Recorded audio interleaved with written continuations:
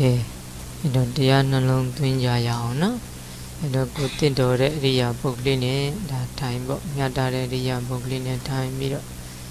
ဒါဟိုတရားနှလုံးသွင်းကြရအောင်အဲ့တော့ဦးဇင်းတို့ဒီချိန်လေးမှာကိုယ့်ရဲ့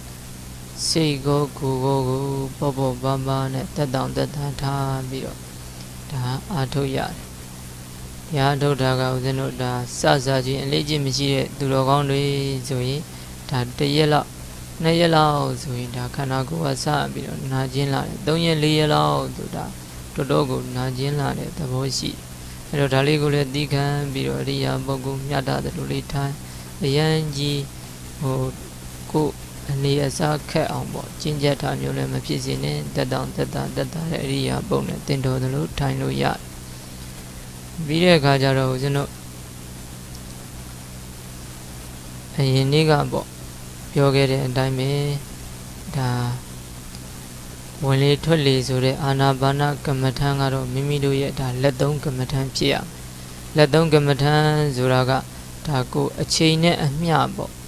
ဒါကြိုးစားပြီးတော့ဒီဝင်လင်ထွက်လေလေးကိုမှတ်သားတယ်ဆိုတဲ့ကမ္မထံကိုဒါအားထုတ်ကြရမယ်အေး အဲ့ဒီအာမထုတ်ခင်မှာတော့ဒီဦးဇင်းတို့အဆောင်အလျှောက်ကမ္မထံလို့ခေါ်တဲ့ဗုဒ္ဓနုတ္တိဘုရားကုံတော်ကိုပွားများခြင်းမေတ္တာဘာဝနာလို့ခေါ်တဲ့တတ္တဝါတွေအပေါ်မှာမေတ္တာတွေဖြန့်ဝေခြင်းဆိုတဲ့ဒီအဆောင်အလျှောက်ကမ္မထံတွေကိုလေဒါလိုအပ်ရင်လိုအပ်သလိုဒါကိုကချိုးကြချိုးကြလေးအာထုတ်ပေးရတယ်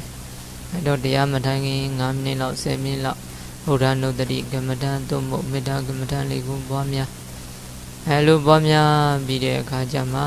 ဒါဝင်လေထွက်လေကမ္မထံလေးကိုမှတ်သားရင်တော့ဒါလွယ်လွယ်ကူကူနဲ့ဒါမှတ်သားလို့ရတဲ့သဘောရှိတယ်အဲ့တော့ဦးဇင်းတို့ဘုရားနုတ္တိဘုရားကုံတော်ကိုပွားများခြင်းမေတ္တာဘာဝနာမေတ္တာပူခြင်းဆိုတာတွေကိုတော့ဒါငကကြီးတွေဒီမကြီးတွေအတော်တန်ဒါနားလေထားပြီလို့ဒါယူဆတယ်ပေါ့အရင်နှစ်ရက်ကလည်းဇက်တိုက်ပြောခဲ့တာဆိုတော့ အဲ့တော့ခုချိန်ကစားပြီးမိမိတို့တက်တာတဲ့အရိယာပုတ်တင့်တော်တဲ့အရိယာပုတ်ကလေးနဲ့ထိုင်ဒါထိုင်ပြီးတော့တရားနှလုံးသွင်းဦးစင်းကထောက်လျှောက်တလတရားနှလုံးသွင်းပုံလေးနဲ့လိုအပ်တဲ့အချက်ကလေးတွေကိုပြောပြသွားမယ်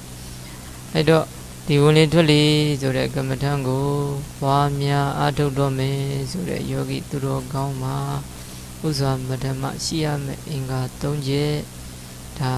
အာတာဘီတံပဇာနောတတိမာတဲ့ လုံလာကျိုးကိုအာထုတ်မှုဆိုတဲ့ဝရိယလည်းရှိရမယ်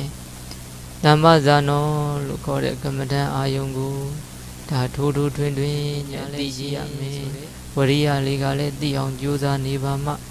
ဉာဏ်ပညာလေးကလည်းထိုးထိုးထွင်းထွင်းနဲ့သိနေပါမှဒါအောင်မြင်တယ်နောက်တစ်ချက်ကတော့တတိမာတတိနဲ့ရှိရတယ်ကိုယ့်ရဲ့ကမ္မထံအာယုံလေးကနေပြီးတော့စိတ်ကိုကမ္မထံအာယုံလေးကိုအမြဲတမ်းအမှတ်ရနေဘူးလို့တယ် ကမ္မထံအာယုံကနေစိတ်လွင့်မသွားစေနဲ့အဲ့တော့ဒီနေရာမှာ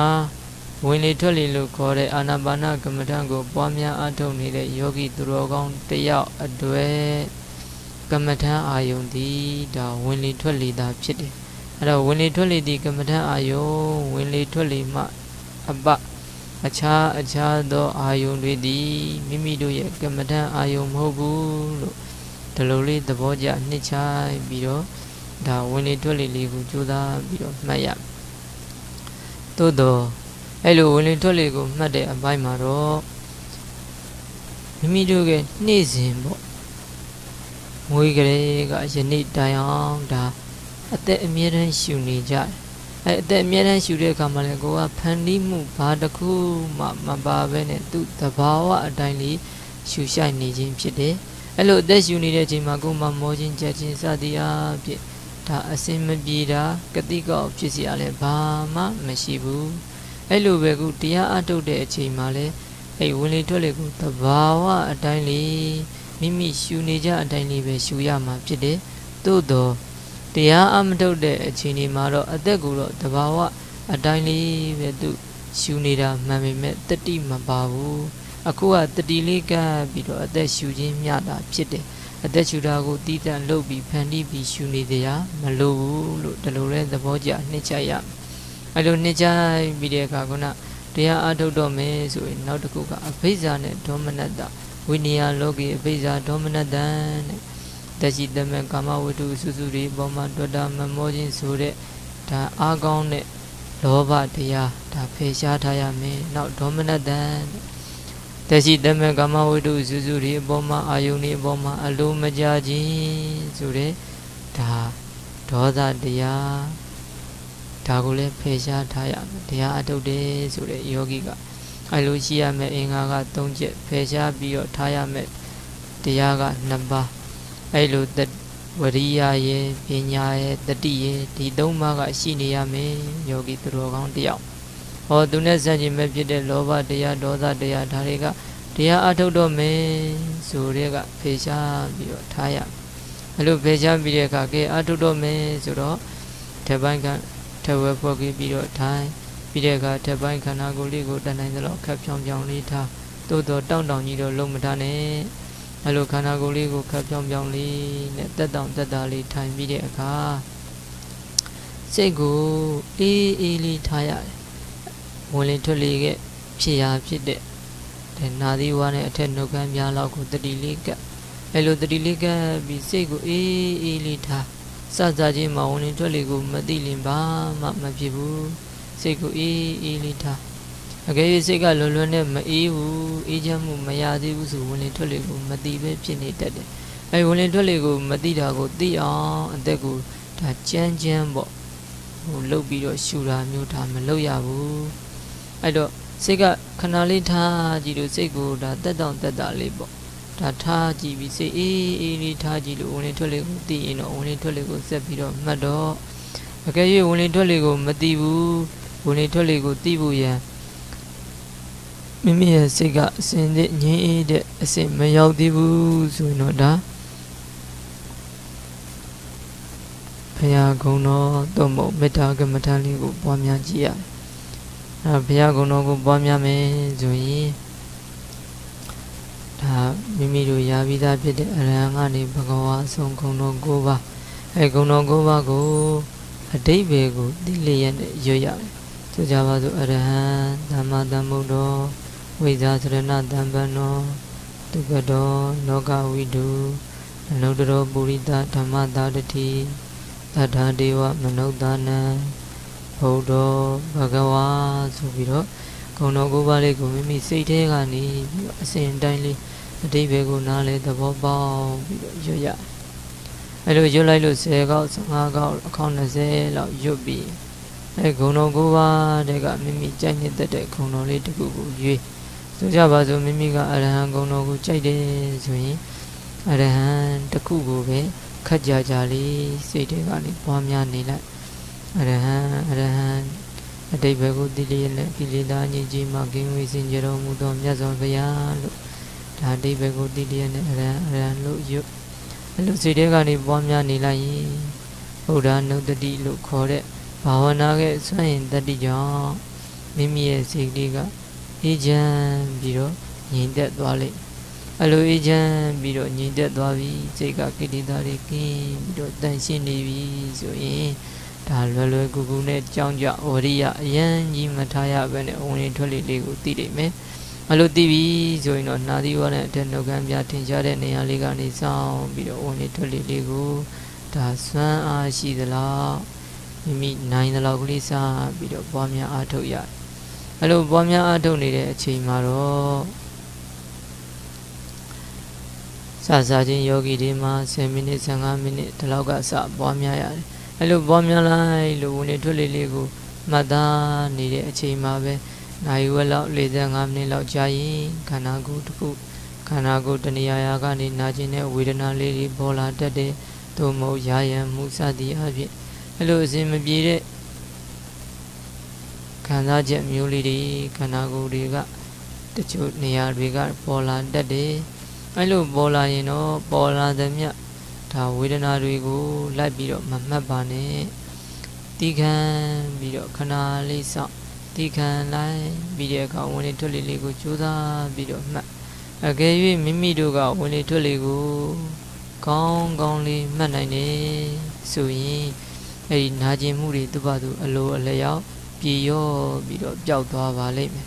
အဲ့ဒါဆိုရင်တော့ကိုကဝင်ထွက်လေးလေးကိုဆက်လက်ကြိုးစားပြီးတော့မှတ်ဒါပေမဲ့တခါတလေမှာ ဝင်လေထွက်လေကိုမှတ်သားဖို့ရန်ဒါအနှောက်ယှက်ပြီးတဲ့အထိနာကျင်မှုဝေဒနာတွေထုံကျင်မှုဝေဒနာတွေရာယံမှုတွေကပေါ်လာတတ်တယ်အဲ့လိုပေါ်လာရင်တော့ဒါဝင်လေထွက်လေကိုမှတ်လို့အဆင်မပြေတော့ဘူးအနှောက်ယှက်ပေးနေပြီဆိုရင်အဲ့ကြရင်တော့ဝင်လေထွက်လေကိုမှတ်သားလျက်ဝင်လေထွက်လေမှာတတိလေးကတ်လျက်နဲ့မိမိရဲ့အရိယာပုဂ္ဂလိကိုပြောင်းလဲပေးလိုက် အဲ့လိုအရိယာပုဂ္ဂလိကိုပြောင်းလဲလို့တင့်တော်တဲ့အရိယာပုဂ္ဂလိပြောင်းလဲပေးလိုက်ရင်ဒါကနာကျင်မှုဝေဒနာလေးတွေကပြန်လဲပြီးတော့တက်တာသွားမယ်အဲ့လိုတက်တာသွားတဲ့အချိန်ကျမှမိမိမှတ်သားနေတဲ့မိမိရဲ့လက်သုံးကမ္မထံအာယုံဖြစ်တဲ့ဝင်လေထွက်လေလေးကိုပြန်ပြီးတော့တတိလေးကင်လွယ်လွယ်ကူကူနဲ့ကြောင်းကြမဆက်ရပဲနဲ့ဒါတက်တောင်တက်တာနဲ့မှတ်လို့ရတယ်အဲ့လိုမှတ်လို့ရရင်တော့ဒါကြိုးစားပြီးတော့9မိနစ်10မိနစ်ကစပြီးရသလောက်ကလေး ဒါကြိုးစားပြီးတော့မှတ်ပြီးတော့အဲ့လိုမှတ်တဲ့အပိုင်းမှာအာနာပါနလို့ခေါ်တဲ့ဝင်လေထွက်လေကမ္မထံကမှတ်သားမှုအားလေးကောင်းလာတယ်တတိတွေအားကောင်းလာရင်ဝင်လေထွက်လေအာယုံလေးကတပြေးပြေးနဲ့တိမ်မွေ့သွားတယ်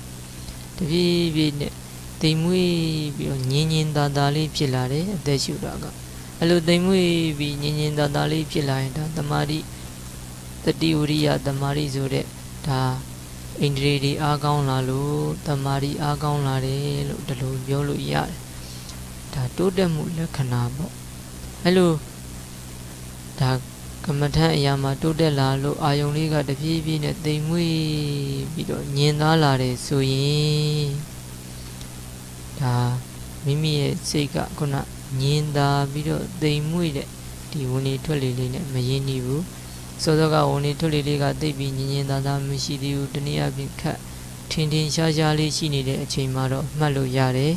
လေကတိမ်မွေ့ပြီးနူးညံ့သွားတဲ့အခါမှာကိုယ်စိတ်က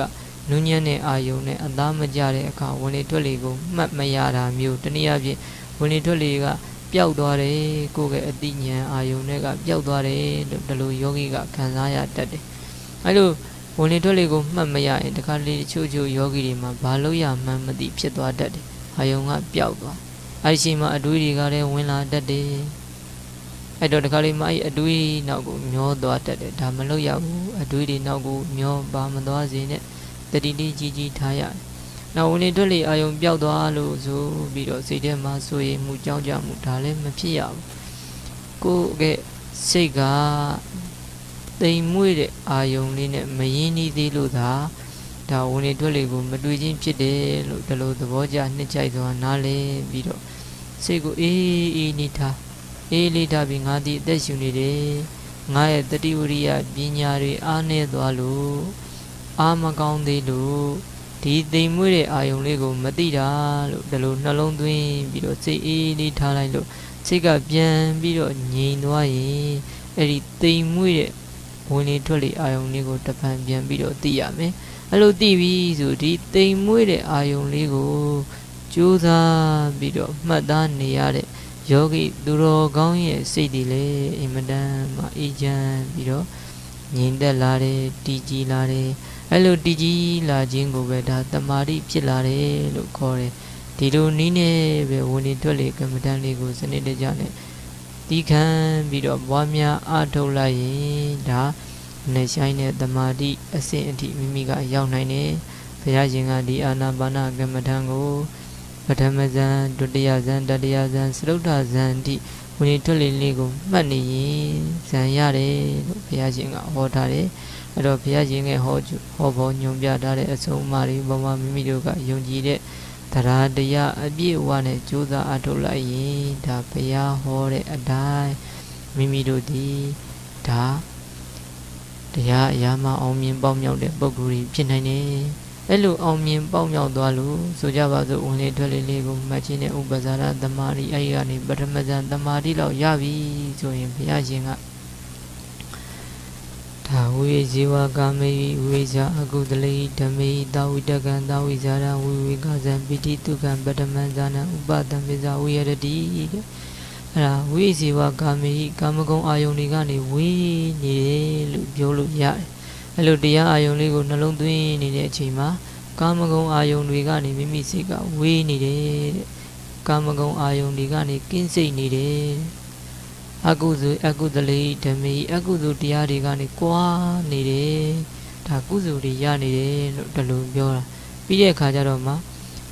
တခါလေပထမဇန်ချမ်းသာလေးနဲ့ဒါချမ်းချမ်းသာသာနေရတယ်ဒါပထမဇန်ရောက်ရင်အဲ့ဒီကနေမြန်ကြွေမိမိကစွမ်းနိုင်လို့ဒုတိယဇန်လောက်ရောက်သွားပြီဆိုဒါပထမဇန်တဲ့ဒုတိယဇန်ကပိုပြီးတော့ချမ်းသာတယ်ဒါ တကယ်ရသွားပြီဆိုရယောဂီတွေဒါကိုတွေ့ပဲအဲသူတို့ကဟိုမေးကြည့်တဲ့အခါအော်ပထမဇန်နဲ့ဒုတိယဇန်ကလွန်စွာမှပိုပြီးတော့ချမ်းသာတယ်လို့ဒီလိုပြောကြအဲ့ကနေပြီးတော့တခါကြိုးစားလိုက်လို့မြန်အကယ်၍တတိယဇန်လောက်ရောက်သွားပြီဆိုရင်တော့အဲ့မှာယန္တန်တိယံအာစိတ်ခန္တီဥပကခောတတိမာဒုက္ခဝိဟာရိတိဆိုပြီးတော့ ဘုရားအစရှိတဲ့အရိယာသူတော်ကောင်းတွေကချီးမွမ်းကြတယ်တဲ့တတိယဇန်တီလောကီချမ်းသာတွေထဲမှာအချမ်းသာဆုံးပဲတဲ့အဲ့ဒါဒကာကြီးတွေဒကမကြီးတွေကိုယ့်ရဲ့ဘဝမှာကိုခံစားမှုတာကကာမဂုဏ်ချမ်းသာလောက်ပဲခံစားမှုတာဇန်ချမ်းသာကိုမခံစားဘူးသေးဘူးအဲ့ဇန်ချမ်းသာဒီလောကီအာယုံလောကီချမ်းသာတွေထဲမှာအသာဆုံးအချမ်းသာဆုံးပဲတဲ့တတိယဇန်က ဒါကြောင့်မို့လို့အဲ့လိုကိုတစ်ချိန်တစ်ခါမှမကြုံဘူးသေးမရဘူးသေးတဲ့ချမ်းသာတွေကိုလည်းဒီဝင်လေထွက်လေအာယုံလေးကိုမှတ်သားနေခြင်းအပြင်ရရှိနိုင်တယ်ရောက်ရှိနိုင်တယ်ဟောအဲ့ကနေပြီးတော့သရုတ်တဇန်သမารိသူတဲ့ပို့ပြီးတော့တီးကြီးပြီးတော့ငြိမ်းချမ်းနေဒါသရုတ်တဇန်သမารိကိုလည်းမိမိဒီဝင်လေထွက်လေလေးကိုမှတ်သားခြင်းအပြင်ရောက်နိုင်တယ် အဲ့လိုနီးနဲ့မိမိတို့ဒီစစားခြင်းမှာတော့ကုသိုလ်တရားတွေနဲ့အကုသိုလ်တွေကိုဒါမဖြစ်အောင်မိမိတဏ္ဍာမှာဒါကုသိုလ်တွေနဲ့အစားထိုးပြီးတော့ပွားများအားထုတ်ရတယ်ဒီလိုအာယုန်တွေပေါ့ကုသိုလ်အာယုန်နဲ့အကုသိုလ်တွေမဖြစ်အောင်အစားထိုးပြီးတော့အားထုတ်ခြင်းကိုတော့ဒါသမထဘာဝနာသမထကမ္မဋ္ဌာန်းစီးဖြန်းခြင်းလို့ခေါ်တယ်အဲလိုသမထကမ္မဋ္ဌာန်းတွေမှာအောင်မြင်လို့စိတ်ဓာတ်ကတည်ကြည်လာပြီဆိုတဲ့အခါကျမှ ဒါတစင်တဲပြီးတော့ဒါဝိပဿနာအဆင့်ကိလေသာတွေကိုဒါပေရှားနိုင်ရေးအတွက်ကြိုးစားရတယ်အဲလိုကိလေသာတွေကိုပေရှားနိုင်ရေးအတွက်ကြိုးစားလို့မိမိကတင့်တော်တဲ့ဒါဉာဏ်ပညာတွေရလာလို့ထိုဉာဏ်ပညာတွေကလည်းထက်မြက်လာပြီဆိုတဲ့အခါကျတော့ဒါဝိပဿနာဉာဏ်တွေရင့်ကျက်လာပြီဝိပဿနာတွေဝိပဿနာဉာဏ်တွေရင့်ကျက်လာတဲ့အခါမှာတော့ကိလေသာတွေကိုပယ်ရှားနိုင်တဲ့မဉဏ်ပူဉဏ်တွေပေါ်လာမယ် ထိုမဉဏ်ပူဉဏ်တွေပေါ်လာရင်တော့မိမိတို့တဏ္ဍာမှာကိလေသာတွေကိုဆံရဆံရမဉဏ်ပူဉဏ်တွေကဆံရဆံရမဲ့တရားဆံရဆံရမဲ့တရားတွေကကိလေသာတွေကိုပယ်ရှားပြလိုက်တဲ့အခါမိမိတဏ္ဍာမှာထိုပယ်ရှားပြီးသားကိလေသာတွေဒီနောက်ထပ်တစ်ပံဖြစ်ခွင့်မရတော့ဘူးဒီလိုနည်းအားဖြင့်နောက်ဆုံးမှာတော့ဒါအသာဆုံးအမြတ်ဆုံးဖြစ်တဲ့ ဒါအရတ္တမဉ္ဇဉ်ကကိလေသာတွေကိုအကျွင်းချမ်းမရှိပယ်တတ်ပြီးမယ်အဲလိုကိလေသာတွေကိုအကျွင်းချမ်းမရှိအရတ္တမဉ္ဇဉ်ကပယ်တတ်ပြီးတဲ့အခါထိုကိလေသာတွေဒီဒါနောက်ထပ်တစ်ဖန်မိမိတို့တဏ္ဍာမှာဖြစ်ခွင့်မရတော့ဘူးဖြစ်ခွင့်မရှိတော့ဘူးအဲ့လိုဖြစ်ခွင့်မရှိလို့ကိလေသာတွေမဖြစ်တော့ဘူးဆိုရင်ကိလေသာကြောင့်တတ္တဝါတွေညှဉ်းနှွမ်းပြီးတော့ဆင်းရဲဒုက္ခတွေစုံကြကြုံကြရတယ် အေးကိလေသာဖြစ်ခွင့်မရတော့ဘူးဆိုတဲ့တတ္တဝါတူတတ္တဝါတွေရဲ့တဏ္ဍာမှာအရိယာသူတော်ကောင်းရဲ့တဏ္ဍာမှာဒါဆင်းရဲခြင်းဆိုတာစိတ်ဆင်းရဲခြင်းนี่ဘယ်တော့မှမဖြစ်တော့အဲ့လိုကနေပြီးနောက်ဆုံးမှာတော့ခန္ဓာချုပ်ငိမ့်လို့ပြိဋိဘံဇံဝင်တဲ့နောက်မှာနောက်ထပ်တစ်ပံပြိတန်နေနေရခြင်းအိုရခြင်းနာခြင်းတေရခြင်းတွေလည်းမရှိတော့ဘဲနဲ့ တည်ခြင်းကင်းရာအိုခြင်းကင်းရာနာခြင်းကင်းရာတည်ခြင်းကင်းရာဖြစ်တဲ့ဒါအသင်္ကတလို့ခေါ်တဲ့အငိမ့်တဲ့နိဗ္ဗာန်ကြီးကိုလည်းမိမိတို့ကိုယ်စီကိုယ်စီဒါမျက်မှောက်ပြုနိုင်ကြမှာဖြစ်တယ်ဒါကြောင့်မို့လို့ထိုကဲ့သို့မဉ္ဇဉ်ပူဉ္ဇဉ်ကိုရရှိရေးနိဗ္ဗာန်ကိုမျက်မှောက်ပြုနိုင်ရေးအတွက်ဝိပဿနာရှုပွားသုံးသပ်ဖို့လိုတယ်အဲလိုဝိပဿနာတွေရှုပွားသုံးသပ်နိုင်ဖို့အတွက်အခုလိုအခြေခံကြတဲ့သမထအလုပ်တွေကိုစပြီးလုပ်နေရတယ်လို့ ဒါလိုသဘောကျနှိမ့်ချိုက်စွာနဲ့မိမိတို့ရဲ့ကမ္မဋ္ဌာန်းအာယုံလေးအပေါ်မှာတည်ကြည်တဲ့စိတ်ထားကြိုးစားမှုဝရိယနဲ့တကောဒါထက်မြက်တဲ့ဉာဏ်ပညာနဲ့ကမ္မဋ္ဌာန်းအာယုံလေးကိုထိုးထိုးထွင်းထွင်းနဲ့သိအောင်ကိုယ်စီကိုယ်စီပွားများအထောက်ကြရမယ်ဒီချိန်မှာမိမိတို့ဝမ်းမြောက်ရမှာကတော့ဩဒီလိုအချိန်ကမ္မဋ္ဌာန်းတရားနှလုံးသွင်းနေတဲ့အချိန်ငါတို့တဏ္ဍမကိရိတာတွေဖြစ်ခွင့်မရဘူးကိရိတာတွေ ဝင်ရောက်ခွင့်မရဘူးလို့ဒီလိုသဘောကျပြီးကုသိုလ်စိတ်တွေနဲ့ငါတို့ရဲ့ဓမ္မိုးရှိတဲ့ဘဝမှာအချိန်တွေကိုကုသိုလ်တရားတွေနဲ့ဒါအချိန်တွေကိုသုံးဆွဲပြီးတော့ဖြုံးရမရောက်အောင်အကုသိုလ်တွေဖြစ်ခွင့်ရှိနေရင်ဒါအချိန်တွေတန်မိုးရှိတဲ့အချိန်တွေကိုဖြုံးနေတာ။အော်ခုကတော့ငါတို့တန်မိုးရှိတဲ့အချိန်တွေကိုအသုံးချနေခြင်းဖြစ်တယ်။ကိလေသာတွေဖြစ်ခွင့်မရအောင်ကြိုးစားနေတယ်လို့ဒီ လိုသဘောကျနှိမ့်ချိုက်စွာနဲ့အကုသိုလ်တရားတွေဒါတိုးဝါစေတတ်တဲ့ဒါတရားအထုတ်ခြင်းလို့ခေါ်တဲ့တနည်းအားဖြင့်ကိုယ်ဝင်နေအတွက်လေအာယုံလေးမှာကြိုးစားပြီးတော့မိမိတို့ရဲ့စိတ်ကိုတတိလေးနဲ့ကပ်ပြီးတော့ဘာများအထုတ်ကြရမယ်